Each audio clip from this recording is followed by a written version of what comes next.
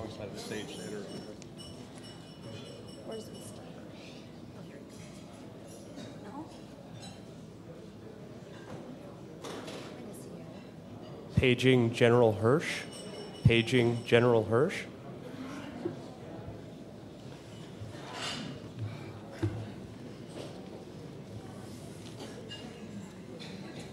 So this is a little bit of a shorter panel. Okay. So I am now going to introduce our fifth and final panel for the conference. What is ISIS and how can it be defeated? The fight against ISIS involves military, counterterror, and humanitarian aspects. Is ISIS a state? Is it a terrorist organization? An extremist religious movement? The panel will discuss, in addition to the humanitarian issues presented, legal issues concerning the classification of ISIS and potential responses to the threat it poses. Please roll the tape.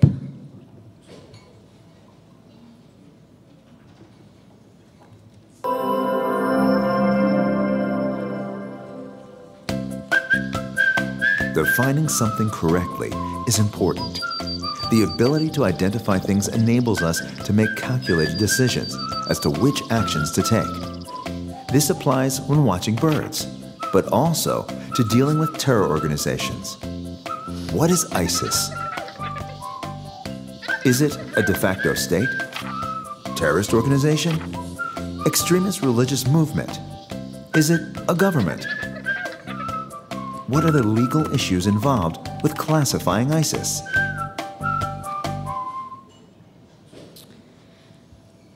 Moderator of this panel was supposed to be Megan Tubner, who is uh, an attorney in the district attorney's office in the counterterrorism department. Unfortunately, as I actually expected, she was called away and is not able to be here today. Uh, however, Michael Smith has agreed to sit in for her, so we thank Michael for that. Uh, and I will reintroduce to you Michael is the COO of Kronos Advisory.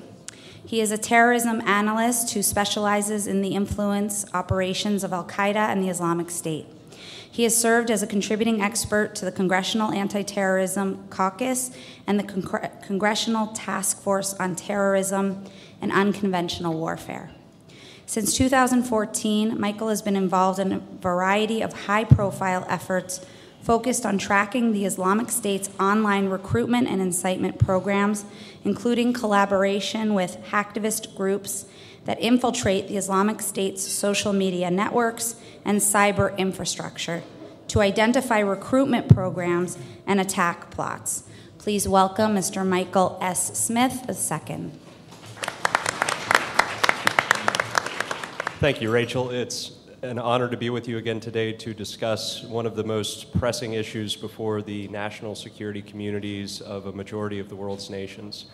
In mid 2014, the Al Qaeda branch of Iraq, which had been ejected from Al Qaeda earlier in the year, declared that it had established a caliphate, rebranded as the Islamic State, and demanded that all other groups striving to pursue that same goal disband with their membership pledging allegiance to the so called Caliph Abu Bakr al Baghdadi.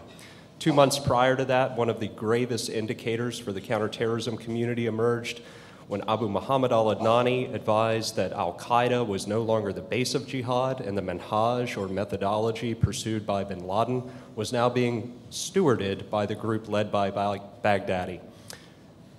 Since then, the group has rapidly expanded its reach far beyond Syria and Iraq. A video produced by the group's Al Furqan Media Center earlier this year highlighted that of the 35 provinces declared by the Islamic State, nearly half are located as far from Syria and Iraq as Nigeria, Libya, the Sinai Peninsula of Egypt, right there on Israel's back door, the Caucasus region, Afghanistan, Bangladesh, and the Philippines.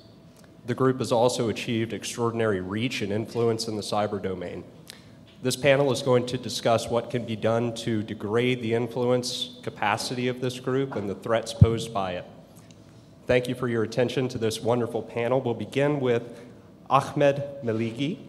Ahmed Meligy is an Egyptian peace activist who reflects on Middle Eastern political affairs and methods for building bridges between Israelis and Arabs. He is a Jerusalem Post columnist and specializes in Middle East commentary. Mr. Meligy regularly chronicles the corruption within the Palestinian Authority as an obstacle to peace and as a conduit for terror financing. Please welcome Mr. Ahmed Meligy.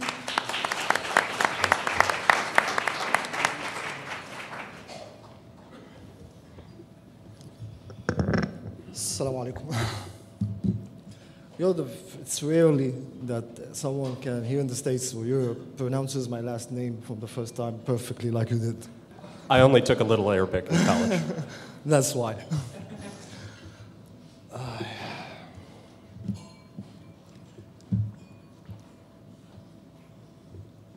All right. First of all, regarding the Facebook and the, the lawsuit, regarding Facebook and the lawsuit against it, it reminded me of a video that I made uh, back in February.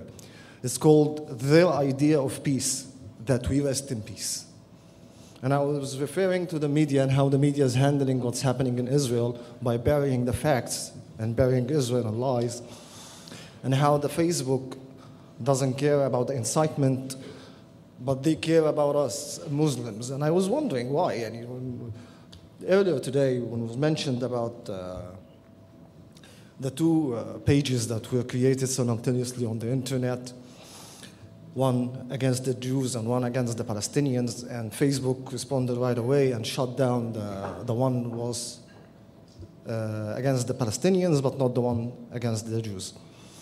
And when I asked myself why, why they're doing this back in, in February, I realized that because the advertisement and the profit maximization, Facebook would not uh, risk losing 1.6 billion customers of the Muslim world, and excuse me with all due respect, for 14 million Jews. This is how they see it. This is the only explanation that I get from Facebook. What's happening now in the United States and in Europe and in the world scares me. I came to the United States. When I come here, I feel safe. I feel respected. I feel like a human being. Yes, I uh, meet harassments at the airport, but it's okay because they, they say, Thank you for your cooperation. We saw you were doing our job, and they are polite and respectful about it. So they're doing their jobs to keep us safe. So at least I'm treated with respect. The United States, after 9 11, the State Department was very, very uh, harsh on issuing visas to Arabs and Muslims and it's understandable. So you have to be vetted, you have to meet the requirements, and the requirements is have to like having a sufficient bank account, decent job, regular income. You have to give them all the proof that you will come back. You'll not break your visa or stay here as an illegal immigrant. So two years ago, I didn't have any of that. And the Jerusalem Post invited me for the annual conference here in New York. So it was for me not just a long shot, it was an impossible shot that the, American, the United States government would give me the visa. And this is the beauty of the United States and what makes it unique and amazing that it doesn't matter who you are or where you come from, honestly. If you have what it takes, if you have the potentials, if you have the willingness and the skills, you're welcome here and you work and you will get rewarded and you will have what really the American dream. So I emailed the US Embassy in Cairo and I said, all I had was two letters of recommendations. I didn't have money, I didn't have bank account, I didn't have anything. Just two letters of recommendations. One from the former editor in chief of the Jerusalem Post, Mr. Steve Linde, And then the second one was from the Israeli ambassador, Mr. Uri Savir, for my work with him in Peres Peace Center. The press department and the US Embassy called me right away after I sent the email, like one hour later, asking for a meet. So I went there, they were very impressed and fascinated with what I'm doing and what I'm trying to achieve. And they gave me five years visa. Honestly. And the beautiful thing about this, that I got my visa stamped, and I got my passport on March 27, 2014. March 27th is the, the, anniversary for signing the peace treaty between Egypt and Israel. For me, that was a huge sign. It was like sign from God that I keep going. I came to the U.S. Everyone met with me. No matter, it doesn't, no matter how strong they are or high profile politicians or activists, were amazing. They gave me the time, they gave me the space, and what do you need? How can we help? This is the America that I know. And it really saddens me what's going on. Really, I couldn't sleep last night. I'm, I changed my speech today. Yes, we should talk about what's ISIS. We all know what is ISIS. ISIS is the new evil, there's no doubt. When one of the key, the key uh, not speakers yesterday compared ISIS to Nazism, actually I wasn't offended. ISIS, they blow up mosques with Muslims praying in it. Not just killing innocent civilians and by stabbings and shootings and the incitements they do the, in Saudi Arabia and Kuwait and Iraq. They blow up mosques. So anyone who is non ISIS is not a Muslim. For them, this is how they see us all. And we are suffering from them big time. Muslims, Jews, Christians, all human, the humanity is suffering, and we have to take action. Not, not just by following them online. Hillary Clinton, at the commander in chief forum, she made it clear that if she's getting elected, she will not send ground troops to Syria or Iraq. And this is the source of the problem. This is how it, it happened under our noses. Because we dismantled, the United States dismantled the, the Iraqi army after 2003, and then Syria and the Arab Spring and all the chaos, and the Muslim Brotherhood, the rise. The US has to work, has to, to be offensive you have to send ground troops. I know it's dangerous, and this is your sons and daughters we're talking about, but it's humanity we're talking about. And if the United States won't interfere with ground troops and surgical operations, will, this will take a very long time. And eventually, you will be cornered and pushed to send ground troops because they are increasing. And in Iraq, they became a state. ISIS is a state now. They have oil, they have banks, they have vaults, they have money, they have wide world support and unlimited funding. Come on. And they're smart and they're using technology. They're not like the idiots of Al Qaeda. And Al Qaeda, Al Qaeda, with what they did in 9 11, now they are like uh, well, children compared to ISIS. And it's.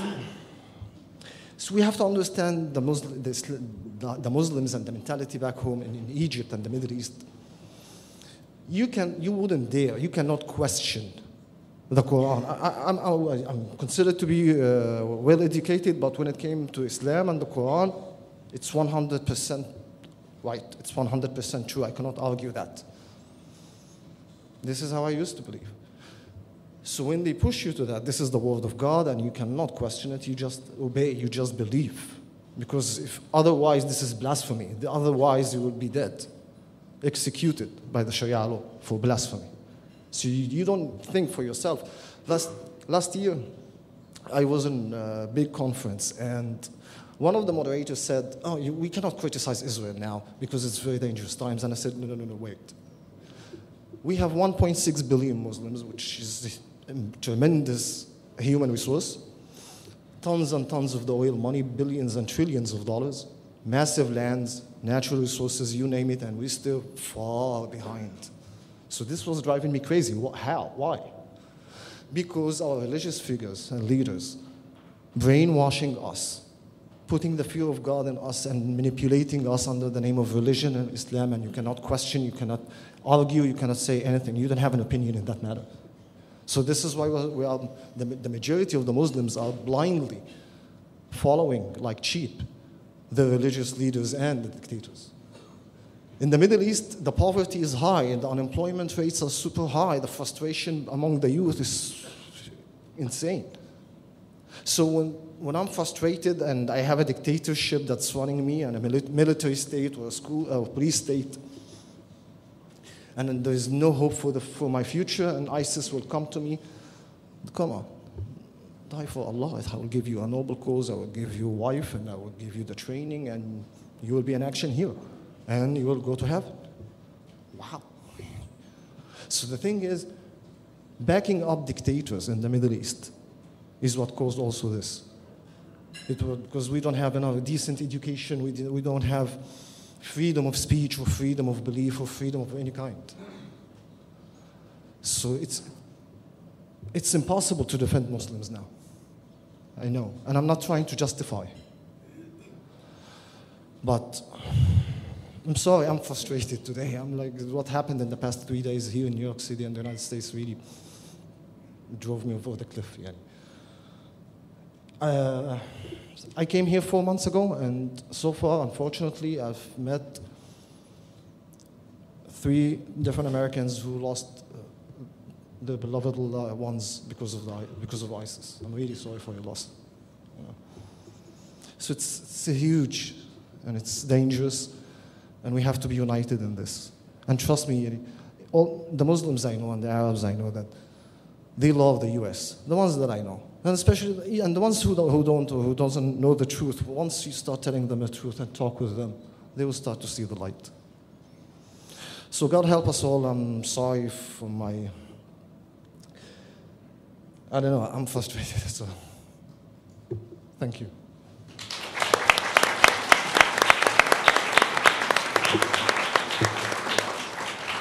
Ahmed, uh, I'm sure that I am joined by the rest of the audience in thanking you for your candor. Our next speaker is a distinguished servant of America's national security community. Colonel Guy Parmeter is a retired U.S. Army Division Chief. He deployed multiple times to Iraq as a battalion commander and brigadier operations planner. He is currently a consultant and partner at BMNT, where he serves as a principal. It is located in the San Francisco area. He has more than 20 years' experience in design, strategy, and operations management. Colonel Parmeter possesses core competency in assembling and leading coalitions from a broad network to design and implement innovative approaches to big problems across a variety of ecosystems. Read, he is a master of the universe.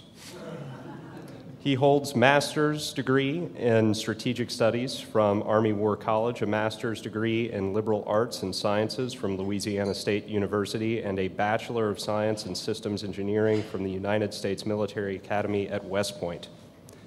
Please welcome Colonel Parmeter.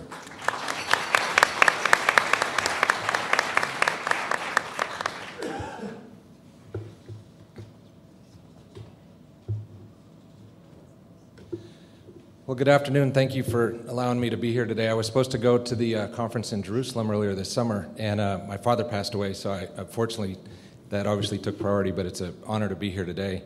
The, uh, I just wanted to provide some background um, about my experiences and, and, the U.S. Army's experience in Iraq on the ground um, at the tactical level because I think it's, it's relevant to draw some lessons and conclusions about what will be required with ISIS on the battlefield, and then offer some conclusions as that approaches that we took may nest with the broader and I think more critical uh, things that Shurat HaDin is doing right now and, and, at the political or strategic level.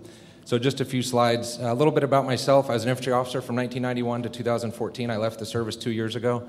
I now live about two miles from Facebook, so if anyone wants to go visit, I'm happy. I, and then Google's about two miles the other direction. So the GAFAs of the world, the Google, Apple, Facebook, or Amazon, I'm happy to. I'm happy about what is being discussed here at this conference. So, uh, after leaving two years ago, um, the service, uh, I, I, started uh, several companies and, and, working on a variety of things, helping technology connect with uh, government problems and vice versa. So I appreciate a lot of the discussion, especially in the cyber realm, uh, over the past few days. So I spent three and a half years while I was in the service, the last um, eight years or so, 10 years, um, fighting terrorists, extremists, and insurgents in Iraq. And I think all three are different. And all three are, are folks that you could sometimes self identify with when you're over there. Um, and I'll talk a little bit about them. I spent a couple, uh, first half of my first year there in Tikrit, um, right around the same time, the time that Saddam Hussein was pulled out of a hole in Adwar, uh, just across the river from Tikrit. Uh, then in Samarra, from uh, the last half of that deployment leading up to the first elections in early 2005, came back uh, to Germany, where I was based at the time, and then went back during the surge period from September 2006. Uh, 15 months later, we came home.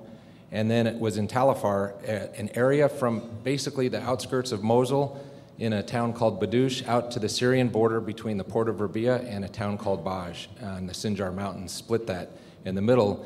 And there we had, I'll talk about some of the folks uh, at that location, which was really the most interesting of, uh, of my time there. So, in the early years, I'll, I'll just go through a, a, short overview of some of the time there. Um, in Tikrit and Samarra in 2004 2005, that's a picture of us getting ready to attack into Samarra uh, across a land bridge. Um, the graphics there show we had five task forces in early 2004, a month before the assault into Fallujah.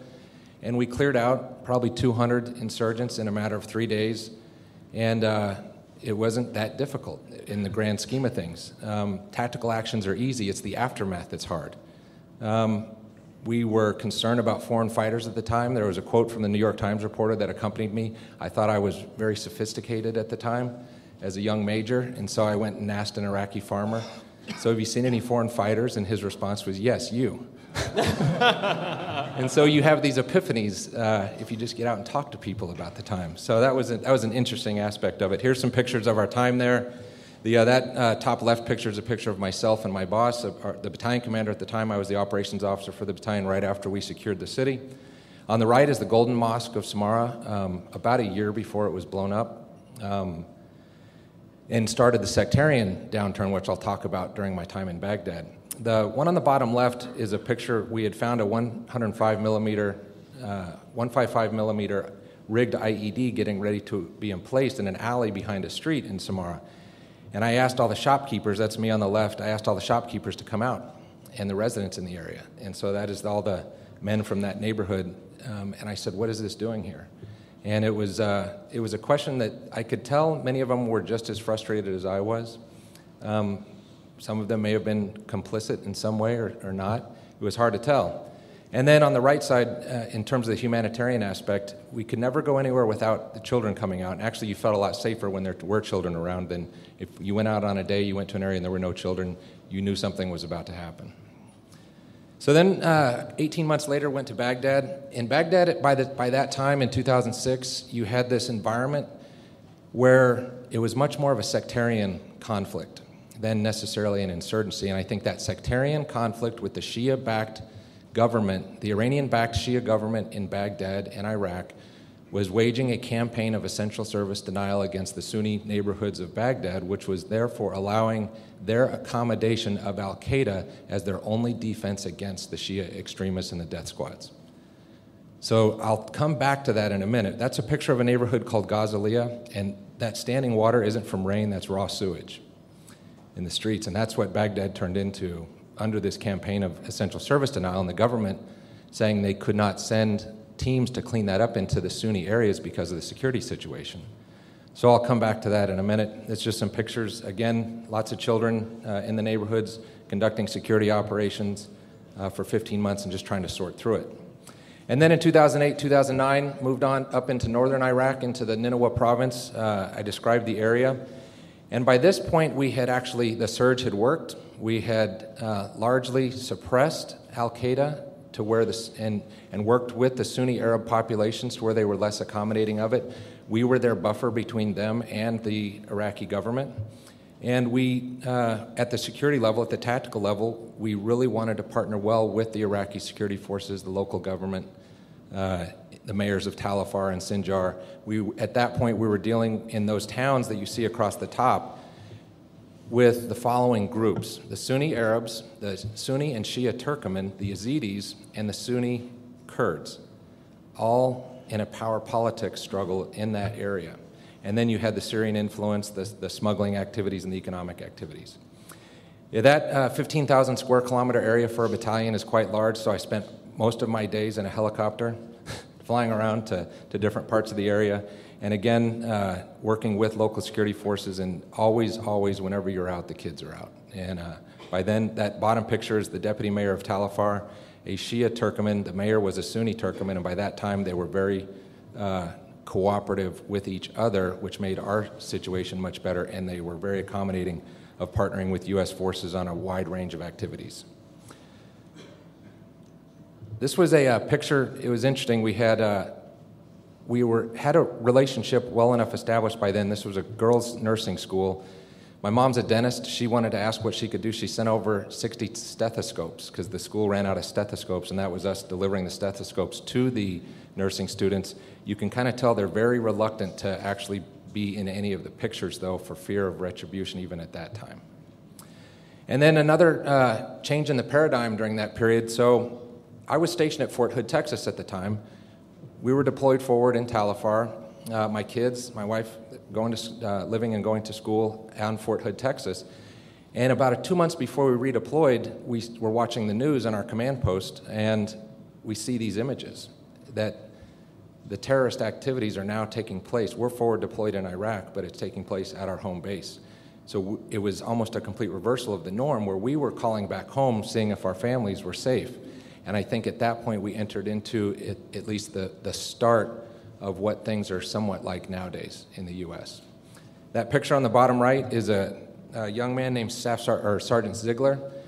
So I put him on a plane in Tal Afar with my command sergeant major to send him to officer candidate school, and he was shot four times by uh, Hasan a week later. And uh, twice in the head, once in the shoulder, and once in the hip. He made a recovery, but uh, as you can see, he's going to be living with that for a long time, so it's very personal. So, a brief discussion about Baghdad, and uh, I think this is where it, it, gets interesting. The green areas are the Shia areas. We, at the top left of that chart, the colored chart, you can see the green areas. Those are the neighborhoods of Shula, Haraya, and Kadamiyah, Shia dominated areas. The red are the Sunni areas in northwest Baghdad. We were stationed at that airfield on the left side of the map. And Ghazaliyah is that red portion just to the north of the airfield. And what we realized was that the Shia, like I talked about, the Shia backed death squads from the green areas were coming in and we were finding 100 Sunni bodies a week in the neighborhoods, in the Sunni neighborhoods. We realized to defeat Al Qaeda, we needed to prevent the Shia extremists from the ability to attack the Sunni residents because they saw Al Qaeda as their only means of defense against the Shia death squads and the Shia backed government. What we did was we, we started out with concrete. Concrete started tipping the tide for us. We put barriers out, and the top of that red mark of Ghazaliyah, we put in about 300 yards of concrete, and the body drops went from 100 a week down to about five. So we knew we were onto something. We knew we were disrupting the access of, the, of those populations to the Sunni areas.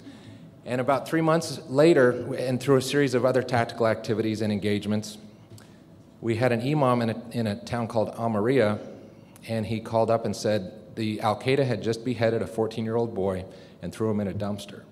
And we want to kick Al Qaeda out. And these were the former regime loyalists under Saddam's security forces that now were reaching out to us, who we had been fighting two weeks prior, and asked for our help. And this is the outcome of that where you see the former regime loyalists were operating on our Bradley fighting vehicles.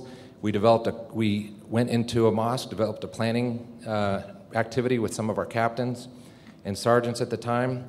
And these, uh, these young men would ride on the tops of the Bradley vehicles, point to which house and where they needed to go. They would tap the Bradley commander, they'd dismount, we'd do a cordon, they would go in, pull the, uh, the foreigners out, the Al Qaeda members out, and then turn them over to the Iraqi security forces. And so that uh, basically continued for about three months. Um, con- other pictures of us doing some planning activities. The guy in the white um, outfit on the left of that right picture, again, that's the type of person we were fighting several weeks prior. And so you have this very indirect approach with the least anticipated of allies to help defeat Al Qaeda. This picture I really like. That's that same uh, gentleman. And this was taken by one of the patrol members on a dismounted patrol that day. And you see the small child, the young girl, looking over at that person. So that person, you probably wouldn't, if you didn't know any better, wouldn't necessarily be able to distinguish from someone in ISIS today. But that person was fighting alongside us towards the same goal at that point in 2007. And that young person looking up to that individual, that individual is seen as a hero to that young person. And just think if we could somehow create the conditions by which that type of activity or environment could exist again, not to sound naive, but I think it's, it's in the art of the possible. You just have to disengage the majority of the population from those that are currently the active members of ISIS. So, a couple considerations before I wrap up. Uh, we always ask as a, as a tactical planner, how are you framing the problem? Is the, what problem do you think you have? We thought we had an Al Qaeda problem, but what we really had was a Shia extremist problem who was allowing the conditions for Al Qaeda to exist in Baghdad. Now, there's more to it, and I'm oversimplifying, but that was the root of it. The stakeholders involved, the Iraqi government, was we didn't have things set up getting to that last point and the, the last few points. What I really like about Shurat HaDin is that it's putting a larger context that helps, I think, support a tactical action or tactical actions. Because you have to have the legal and the financial aspects of it at a much higher level be in place before the success can occur at, from a tactical action, or you lose the benefits of the tactical action. And then some of the observations that I think are relevant today. There's no easy or quick answers to anything. That's uh, apparent, and I think we all know that. Whenever you do something that seems to make one group happy, you end up making another mad, or lots of them mad, and sometimes really mad. and so we, uh, we knew that, and it, it comes down to just do what's, you have to, at the end of the day, do what's best for, for your own posture in this environment in a way that that last bullet, it's more often than not the least bad option. And then I think, as a uh, final point, seizing the terrain from ISIS will be relatively easy, but what's next? What's, what's next? What's going to be after ISIS? And do we have, I, am hopeful because I think the policies, the uh, actions against the financial pipeline that is uh, largely what Shurat HaDin is doing and others, I think that's going to help establish the conditions to allow us to capitalize on the defeat of ISIS on the battlefield when it happens. So thank you very much and appreciate the time today. Thank you, Colonel. Our next speaker is well known to many of you. Brigadier General Gal Hirsch is the active reserve deputy commander of the IDF's Depth Command, as well as the founder and chairman of Defensive Shield Holdings Limited. He has served in various commanding positions in anti terror, commando, and paratroopers units and is experienced within the fields of counterterrorism, counterinsurgency, and guerrilla warfare. You do not want to run into him in an alley if he's angry. For 34 years, Brigadier General Hirsch spearheaded Israel's fight against terrorism on all fronts as a commander of several elite units and as a field officer. General Hirsch's service is covered in much more appropriate detail in his new book, Defensive Shield, and Israeli Special Forces and Israeli Special Forces commander on the front lines of counterterrorism. Please join me in welcoming Brigadier General, General Gal Hirsch.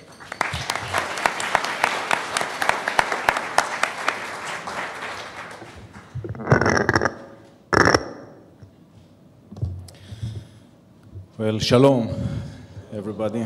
Thanks very much, uh, Shurat HaDin, for all what you're doing along the year, every day. Thank you for this conference, and thanks very much for inviting me. It's a great opportunity, and I'm thankful. Well, uh, one will say that uh, terror it's uh, an international problem. Another one will tell you that this is a national problem. I can tell you firsthand that this is a personal problem. And this is why, for me, always, regarding counterterrorism, counterinsurgency, counter guerrillas, national and personal, international, national, and personal is just the same. I'm a soldier since I was 14 years old, fighting since I am 18 years old and I was badly injured by a terror attack north to Jerusalem. It was a well prepared ambush, and uh, terrorists succeeded for the first time to target me. And I had uh, brain damage, the lungs collapsed, the shoulder is broken, this arm is titanium, it's a very expensive officer. And uh, the most terrible injury was that the right side of my body, the nerve system has been detached from the backbone, and the backbone was broken as well. So actually, I became half paralyzed. And after intensive care treatment in Jerusalem, Hadassah Ein Kerem's Hospital, I was sent to Tel HaShomer Hospital uh, near Tel Aviv for the recovery procedure. And when Dana, my wife, just pushed the wheelchair towards the doctor, he asked me a question that I was not ready to answer, but sometimes questions like that crystallize your mind and tells you exactly what are you living for. He asked me, Colonel, it's a terrible injury. It's going to take a long time. What are your goals? What would you like to achieve during the recovery procedure? And I answered, actually, I answered from that position. I answered, Doctor, I'd like to shoot, hug, and write. He was a bit shocked. And I told him I must be able to use my rifle again. I must be able to hug Dana and my girls. And I must be able to write orders to my subordinates. I was not preparing to write books these days. He told me it's a, it's a big challenge. Let's start. And believe me, I felt these days a terrible feeling of failure because feeling that Islamic jihadists succeeded to target me as one who fought against them for many years, I thought I must win. And a victory meant being back to the battlefield. So a year later, I was that day 74% disabled. I left the hospital on Sunday. On that week's Thursday, I became the Benjamin Brigade commander that is in charge of the region where the ambush took place, exactly to show them.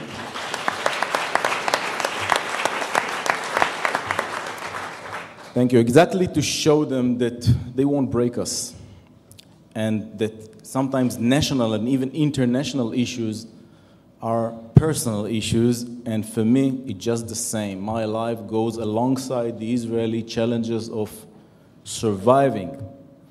And speaking about surviving in Israel, you know, I hope you all visited Israel, and if not, you're most welcome. Please come and come again later on. There is a big uh, problem in Israel to choose every night what restaurant to pick up. Uh, which show to go. We just saw Queen last week. It was great. And, uh, you know, Israel, we have Nobel Prizes. We are among the OECD nations, the startup nation you've heard today. And uh, it looks like a great place to live, and it is. But believe me, ladies, and gentlemen, it is a bubble in this very moment, thousands of Israeli girls and boys, as a part of their mandatory service, are monitoring every inch around Israel. Trying their best to monitor any pixel and hear any byte. Thousands. Now, you cannot be among the OECD, winning Nobel Prizes, and being a startup nation without having a company ambushing in the valley, flotilla in the sea, squadron in the air, mighty Mossad and Shin Bet and special forces everywhere around the globe to secure the state of Israel. But in order to live normally, it means your mindset should be different. It means you live, you enjoy entertainment, you go to Queen, you choose the restaurant, but you know that you're under warfare conditions and you live and you fight parallel. It's about changing mindsets. It's about state of mind. Counterterrorism is the way we live and we will live in the next future. Now, uh, you all know these uh, swans, I believe. And uh, sometimes uh, no? Yes?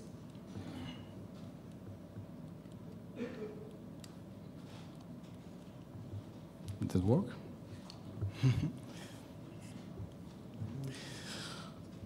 well, I just used my uh, these slides, but before speaking about swans, I believe you know that uh, once upon a time, everyone believed that there are only white swans.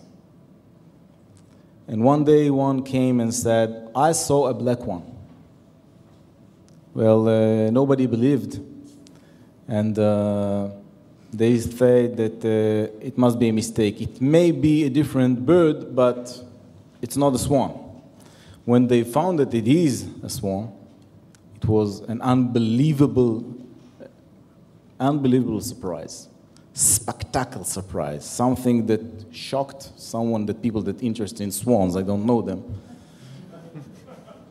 but for them, it was spectacular uh, change. And uh, we're facing today the black swan threat as the main problem, not only regarding financial problems, because one will tell you that, uh, you see, he came. One's going to tell you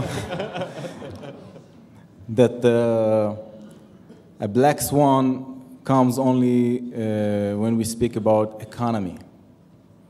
Well, I think that black swan uh, problems comes when we speak about terrorism, and I want to speak today about other boots on the ground because this is the only way to fight against black swan. That should be our counter black swan capability. Maybe you do not like the idea of boots on the ground. I will suggest other boots on the ground. And the RMA 2 means the second revolution in military affairs the second one. Now, uh, you remember this war? This is the old classic war we all remember. And when I say the terminology of war, everyone understands what I'm speaking about.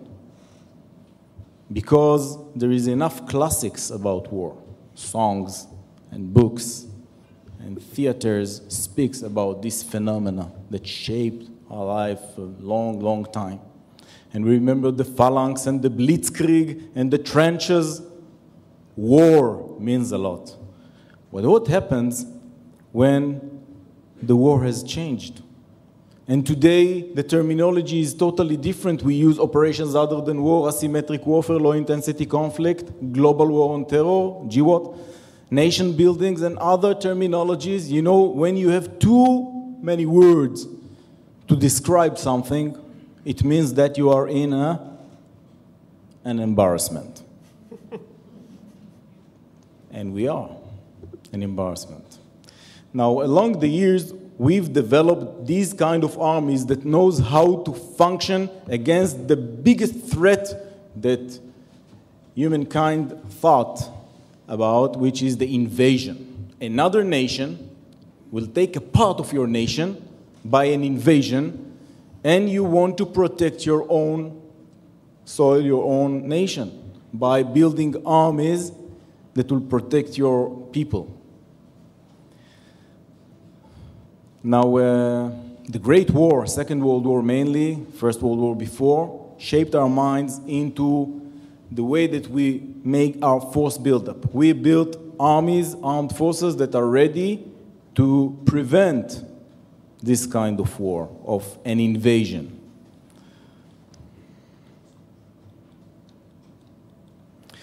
Now, along the years, technologies has been developed, and in the late 70s, beginning of the 80s, arrived the RMA, the Revolution in Military Affairs. The Revolution in Military Affairs said, we can block the possibility of an invasion we can take a box and make it a killing box.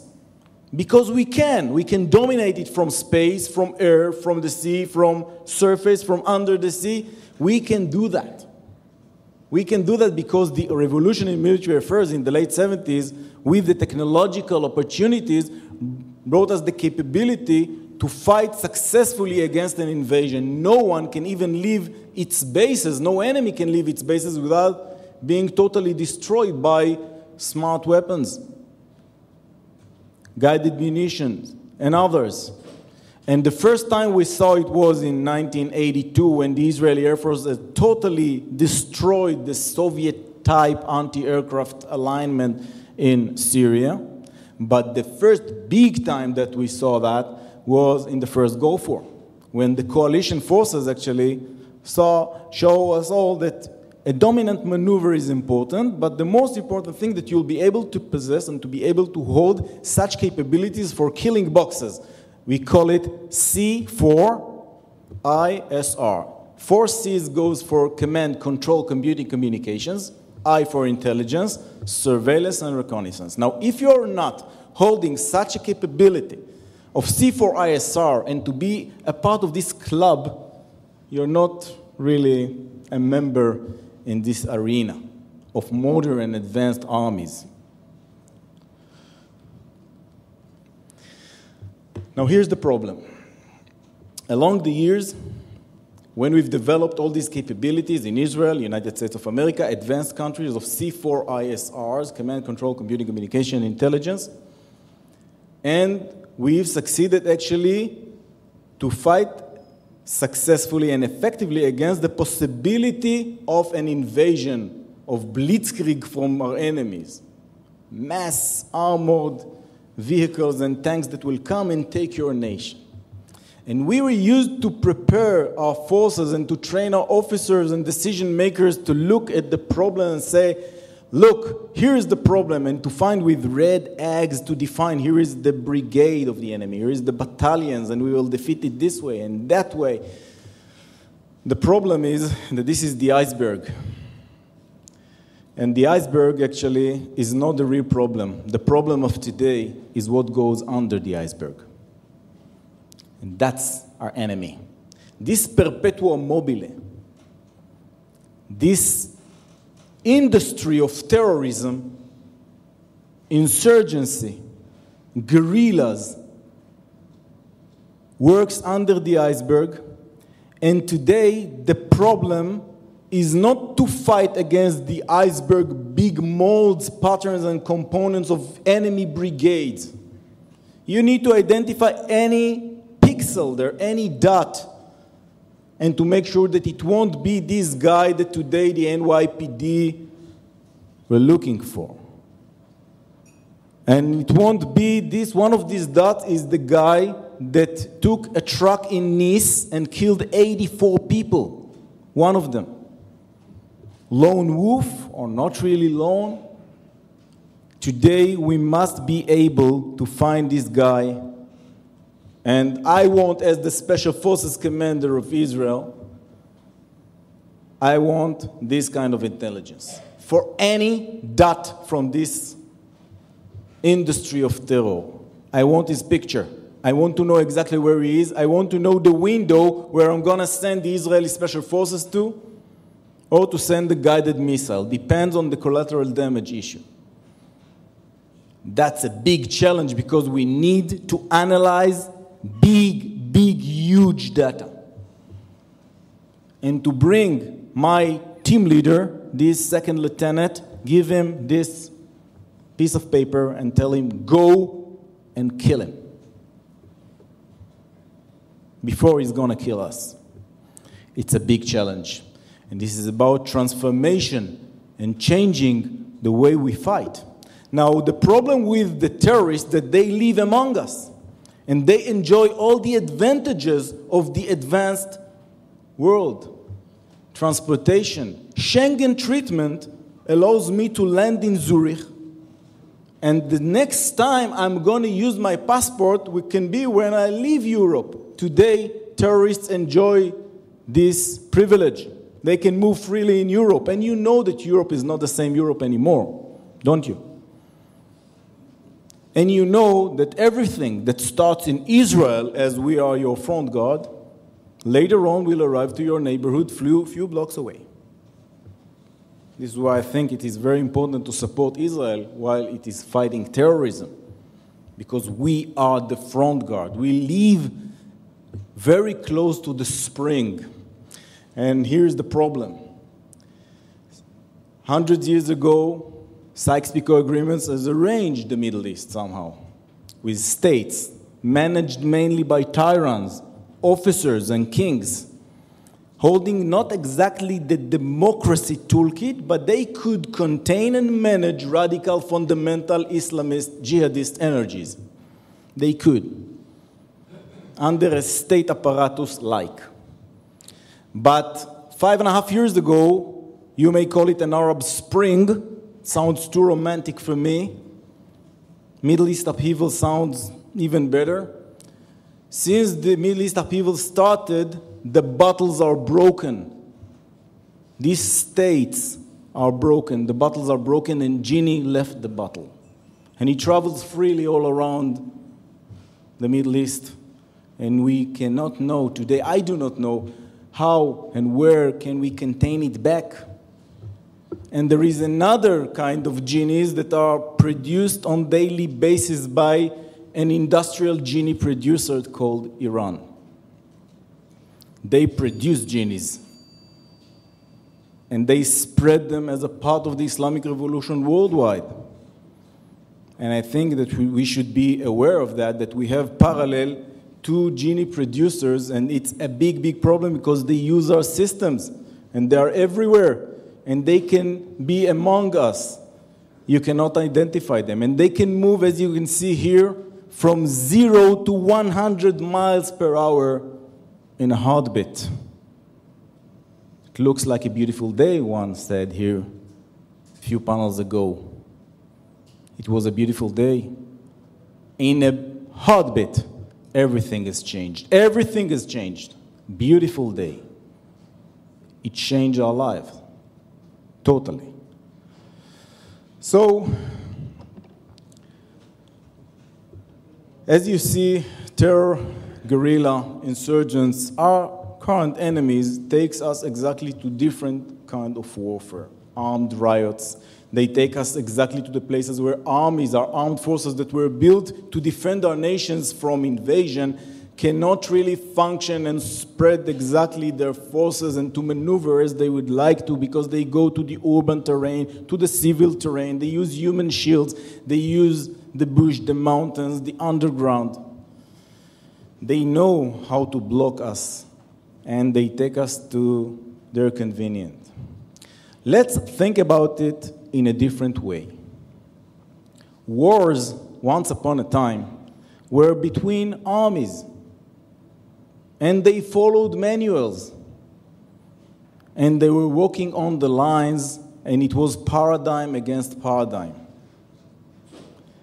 Then later on, when the C4I capabilities has been developed, we were able to take the same paradigm but to cross lines and to do whatever we want if we dominate the killing box. And we thought that we can use these capabilities to block suicide bombers, for an example, and we can do targeted killings if needed, only if needed, of course, and to avoid collateral damage. When we can use these capabilities that were born for blocking and preventing invasions, and we can use these technologies of C4ISR to fight against terrorists. But here is the new problem. We have a different kind of enemy now, a different one and uh, it doesn't like to function at all inside any of these paradigms. Will you please help me from there to push the button? Here it goes. Thank you. Because right now, our enemy has left the paradigm. And the only paradigm they have today is that they have no paradigms. Now, it's a big problem for us as nations, as democracies that has regulations and law and legal issues to fight against people that has no paradigms. Now, I want to be able to fight with no paradigm against our enemies that has no paradigms. How can we do that? It's a big problem. Big problem for democracies. And when we try to analyze the situation and define who's the enemy, and it changes so quickly, and you need to name it to give the right names and to define and to be able to identify exactly what is the challenge, it goes faster and faster and faster and they rapidly change. So, this is why we must reborn. We must. change our state of mind. Here's the way we make our force buildup. We do not like to get rid of our tanks, submarines, jet fighters, and others. And on the top of this force build-up cake, just for an example, we put these five, you know, brave people, the special forces up there. You see them? They look like the candies on the cake, don't they? Candies, it's not the cake. Well, I don't like it. I don't like it mainly because when you need to fight against non-paradigm enemy, when you fight against crazy people, you need to have your own crazy people, but with license. And the crazy people that holds license called special forces and secret services, they can adapt fast. They have different regulations in, for an example, adapting arms and equipment and technologies. They do not have to follow all the regular field manuals and standard. They are special. When you have special enemy, you need to bring special capabilities, special solutions, although solution is not the right word for that. You need to manage the warfare with special capabilities. Special capabilities means to change the force buildup. Change the force buildup means that I do not like them to be candies on the cake. I want them to be the cake itself we must be special in order to fight effectively against this special, brutal, cruel, non paradigmatic enemy. And when we speak about budgets, priorities, allocations, we need to start think different. We need to think special. And when we speak special, I want them as the cake itself and not as the candies on the cake. And I can really go into negotiation with you, okay, 50% of the cake, but not 2% of the cake. We must change, we must reborn. And it is not enough because I want us to create a combat community, worldwide combat community. Not only inside the nation when I I'm sure that the NYPD can act successfully with the FBI and with JSOC and any command that will come, military, non-military, or others. I'm speaking about that, that we, the free world, when we want to fight effectively against such an enemy, such a crazy enemy that has been described here quite good, we must be able to plug and play. I'll bring my plug, put it in this socket, and inside the same backbone, we will all be able to act in the same communication protocols and we will be able to act effectively worldwide because the problem is not only the problem of Israel or the problem of New York City uh, or the problem of I have many names today, you know, Madrid, London, Paris, Brussels, Beslan, Nairobi, you see, it covers all around the world. I can name many names today because everyone suffers from terrorism and everyone must be able to take the plug and play. Play successfully and to choose exactly exactly the capability and how strong you want to use your capabilities to use the kind of a dimmer and to choose the right algorithm that you're going to use today or in this period with the same kind of language.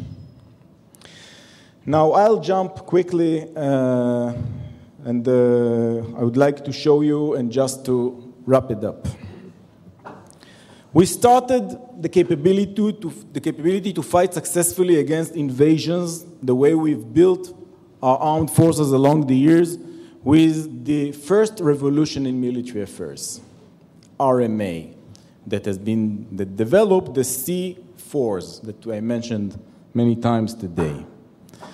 Now, along the years, the fifth C has arrived. That was the previous panel. This is the cyber. You cannot speak today about C4. You need to speak about C5 at least. But I am telling you, I'm telling you firsthand, that if you want to fight effectively against these crazy organizations, cells, crazy enemies, you need to bring the sixth C, which is the commando. The commando are able to fight successfully, and it means that they are able to jump and leave the paradigm and to develop new solution new type of maneuvers. They can really do and make the difference. It means that you can uh, leave the paradigm and develop another box and to think out of the box and to be able to expand your capabilities and to act worldwide with different kind of maneuvers force build-up budget allocations and others it means that the battlefield has changed and you are able to fight successfully worldwide and you do not need to use divisions or brigades. You can use other boots on the ground. A lot of special forces, secret services, and commandos. And when you act today in UGAs, ungoverned areas that surround Israel all around us, you know, Genie has left the battle. There is the industrial genie producer of Iran. All around Israel, we have UGAs, ungoverned area. Think about Sinai. it is Egypt, but it is not really governed area. Think about Syria, not a governed area. You can think about Gaza, officially maybe Palestinian Authority, not really the Palestinian Authority, much more of Hamas, Hamastan. Lebanon is not really Lebanon. Lebanon is Hezbollah inside. Hezbollah inside means Iran inside. They have their own front guard and army, the Iranians, that sits very close to the Israeli borders in Lebanon and now in Syria as well. This is tier one. How about tier two? Do you want us to speak about Ansar Bayt al Maqdas, swear to Daesh? They sit in Sinai. Lashkar al Islam in Libya, Abdel Azzam brigades, Jabhat al Nusra, and many others. I can name the names. And there is the tier three, and even tier four. You can think about Boko Haram and Shabab and Houthis and others. We are totally surrounded. Totally surrounded. I have no good news for you. Because when they are doing their best to destroy the advantages and the achievements of the state of Israel, these seven on earth, when they do their best to do that, they are also infiltrating into Europe, into other continents, and they're on their way here, and you see them already here. Already. So we need to create an effective solution and effective combat answers to fight successfully inside these UGAs, these ungoverned areas. And uh, I'd like to wrap up with summarizing everything. First, decisions must be taken. You know, I was lucky to be the chief planner of Defensive Shield Operation. We were suffering two years of suicide bombing attacks three, four times a day inside the mass populated areas of Israel. Do you remember these days? Today we think that stabbing and driving it's the only way of terror. Let me remind you 22, 18 people in each bus, three, four times a day. It was what they call the second intifada, actually, the intensive terror attack on Israel. And one day, there was a casus belli for us, the Passover massacre, March 2002, and then all my plans as the chief planner of Defensive Shield Operation actually came to reality. Five divisions, a strike, two weeks, and we dismantled systematically the terror organizations in Judea and Samaria. Systematically. And immediately after that, I got another mission, and I am also lucky to be the chief planner of what you call the wall. It is not always a wall, but this is actually the security barrier that guards Israel from suicide bombers and actually helps us a lot with uh, creating this bubble of startup nation, etc. Now, you know, if you'll Google me, you'll find that I'm an official war criminal according to these Palestinian terror organizations that knows that I'm the chief planner of this wall. I'm quite proud to be a war criminal according to their state of mind. Thank you. So decisions must be taken. Decisions means, okay, this is war, let's go on war. Other boots on the ground, boots on the ground, defensive shield operation, other defensive shield operation, but this is war. This is war, and they are on their way to your neighborhoods. Second is leadership. Leadership takes decisions. Sometimes it is tough decisions. You know, to send the Israeli special forces to Uganda Entebbe one night, it's a tough decision. It's a tough decision. To decide to go on war, it's a tough decision. But what can you do? We want to live, isn't it? Now, values determine results. We, America, United States of America, and Israel, and our allies share the same values. Exactly the values that our enemies, these enemies, ISIS, like, does not like at all. I think that actually coalition, worldwide coalition against ISIS, can be very effective because it affects all the world. And being determined is very, very important. And sometimes I must tell you, it's also, of course, firsthand when we've been under the massive, intensive terror, suicide bombers attacks inside the Israeli mass populated areas, we thought that we have no solutions and we will never defeat them. We will never win. You cannot win the suicide bomber phenomena because, as Secretary Rumsfeld just mentioned, they do not want to leave. So, how can you win someone that do not want to leave? Well, I must tell you, and you can see the results defensive shield operation security barriers, special forces everywhere, very, very, very good intelligence, which is the most important thing to collect intelligence 24 7, all along the years, everywhere. And it can work. And terror can be defeated. But it's a continuous war. It will never totally stop.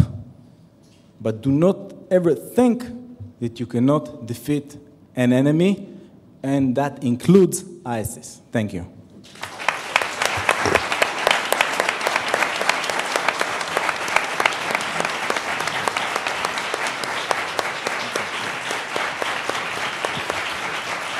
Do we have any questions for this panel?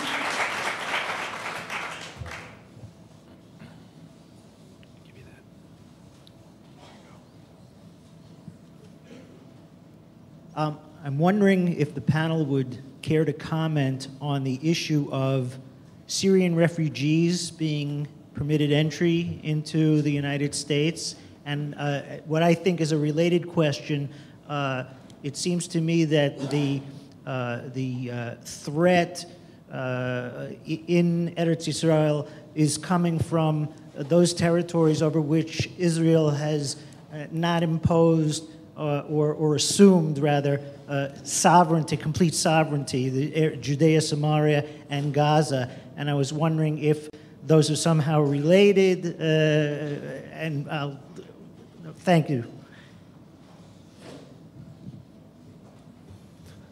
If I may, Ahmed, I'd, I'd, like to hear your perspective on that as somebody who's been through the process recently and understands that uh, it's a very sensitive topic here in the country.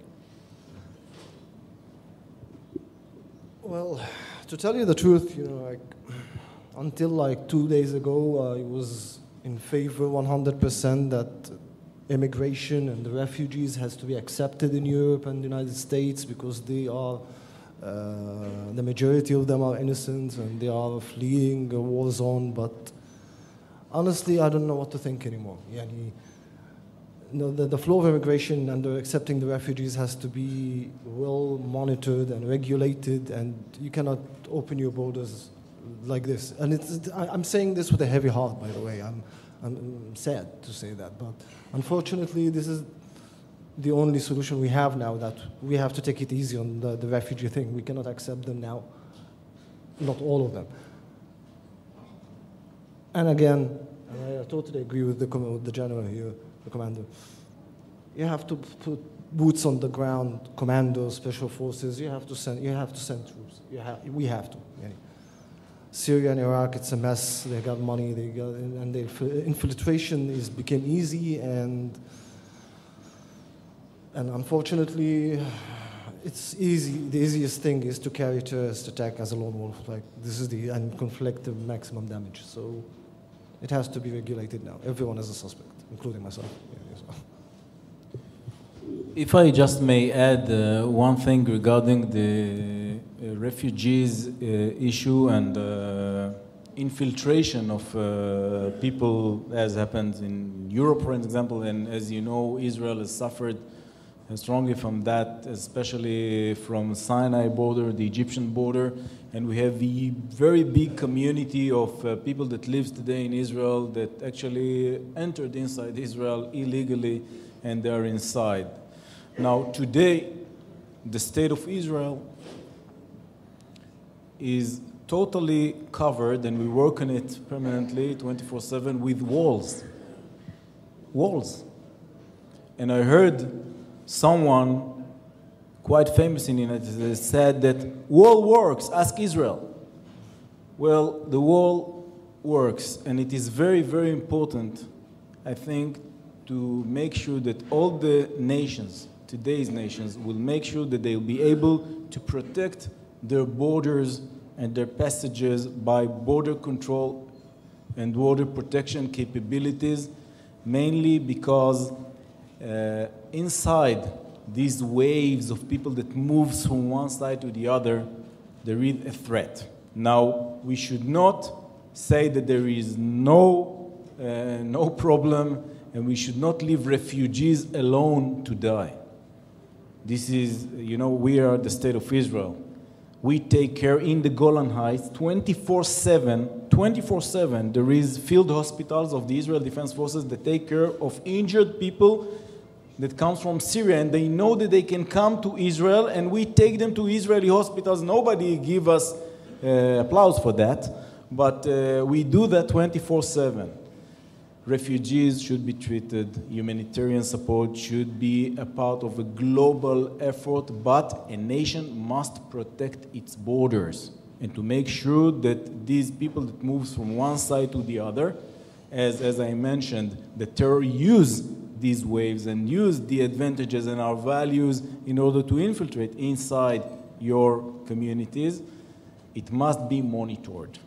Monitored in, with the best technologies and the best methodologies. Yeah, yeah this is uh, directed towards, uh, actually, it's probably more of a, a, perspective for the whole panel as well, but I was in uh, Balad Air Force Base 0607. Uh, THUD call sign, sound familiar? Oh, yeah. Yeah. I tried to, Ahmed, I tried to adopt a little Turkmani girl who was hit by a suicide blast in Tal Afar and she was seven. I wasn't allowed to bring her back. Uh, the fact that she was Turkmani and Muslim meant absolutely nothing to me. So I wanted to say that from the get go. I would submit, though, to go in line with the, the general, is we need an ideological wall. Americans are extremely ignorant when it comes to ideology versus personality, the distinction thereof, okay? We fought against the Nazi ideology and fascism in World War II. So we've, we've done this before. Okay, so the, the question for you all is why do you think it's so difficult for Americans in the West to make a distinction between fighting the ideology versus buying into the personality? Ted Bundy, the murderer, serial killer, was the nicest guy in the world, except he killed women. So at the end of the day, it's, it's a battle against ideology. You concur with that? Uh, absolutely. And like I mentioned earlier, that unfortunately in the Middle East and the, the, the, Muslim world, we are not allowed to question or argue anything regarding Islam and what our religious figures are telling us. And this is what makes the ideology or shaped, shapes the, the current ideology is because of the dictators and the tyrants that running us. So now I came to the conclusion, and I'm saying is loud and proud, without fear, that now I'm a Muslim on my own terms. No one can dictate on me anymore what to drink, what not to eat, how to live my life, because I strongly believe now that religion is between man and his heart, and God knows what's in your heart, God knows your real intentions. So I tell them, excuse me, I don't believe everything anymore. And it's, it's, it wasn't an easy decision, by the way. For an Egyptian to do that and say that in public, being I'm a Muslim on my own terms, this is, you never, yani, rarely to, to, to hear it in the Middle East. And this is why I encourage everyone here that reach out to the moderate Muslims nowadays in the Middle East who are calling for Islamic reformation, because that's the key. The reformation in Islam, we have to keep pushing and try to convince the Muslims and the Arabs, especially the youth, that Islam needs reformation.